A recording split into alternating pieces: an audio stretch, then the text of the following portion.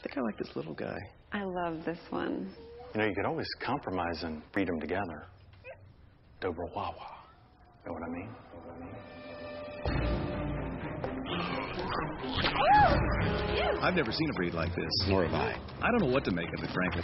It's unsettling. It's disturbing to look at it directly. How did this dog get past regions? That's what I want to know. I'm Sarah McLachlan.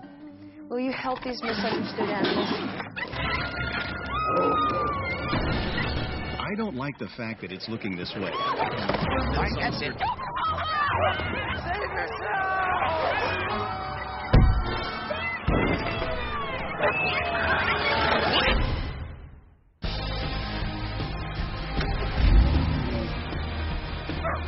Much better.